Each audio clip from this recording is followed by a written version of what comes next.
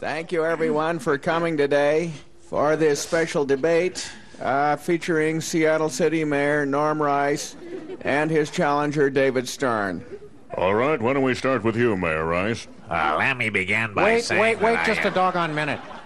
How come he always gets to go first? Look, we're just going alphabetically here. That's all we're doing. well, David comes before Norm in my alphabet. Yeah, well, we're figuring this like, you know, Rice before Stern. That's how we're doing Okay, fine. Okay, so uh, just continue there, Mayor Rice, would you? Well, I was just about to mention that uh, David has been taking credit for coming up with that happy face thing. Now, you see, I knew he was going to bring that up, and I don't care what anybody says. I invented it first. All right. Uh, well, assuming for a moment that that is the case, why did you draw a mouth and two eyes, but no nose? Well, you probably think it's as easy as drawing a circle.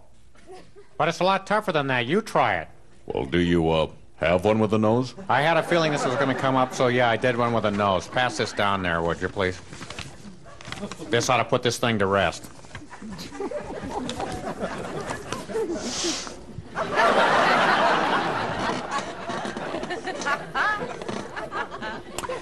Where are the ears?